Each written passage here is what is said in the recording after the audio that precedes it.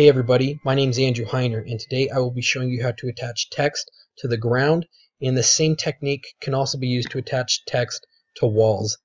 So to do this, go to Window and enable your tracker and that'll pop up over here.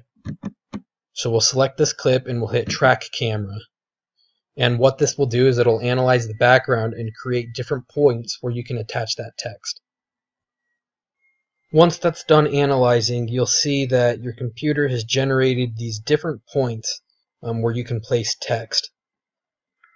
So we're actually going to place that text down right here is a good spot.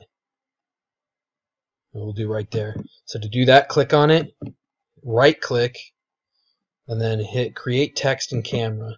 So you can see the text that it's created and we'll uh, position this a little bit differently so it looks better. So we'll hit transform. And then we'll scale this down. And then we'll change its positioning. Then we'll rotate this in Z space so it's straighter with the road. And there you have it. Really is quite simple.